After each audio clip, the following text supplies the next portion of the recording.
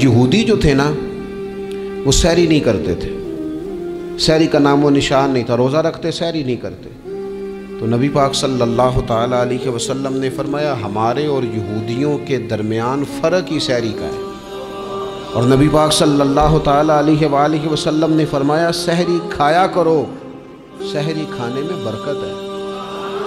और अगली बात सुननी, आपने तो खुश हो जाना है सहरी को मामूली ना समझे सहरी करना इबादत है। हाँ हाँ आप मत समझें कि मैं रोटी खा रहा हूँ। ये तो मेरे सामने दही रखा हुआ है, ये तो सालन रखा हुआ है, ये तो अचार रखा है तो चपातियाँ रखी हैं। शहरी खाना इबादत है। आप सुबह उठे, आपकी तो रूटीन ही और थी।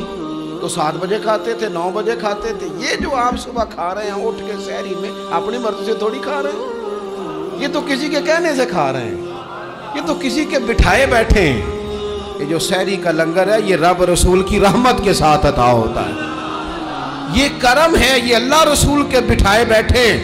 क्या मेरे रसूल पाक सल्लल्लाहु अलैहि वसल्लम ने बात खोली है तरगीब व तरहीब में हदीस है?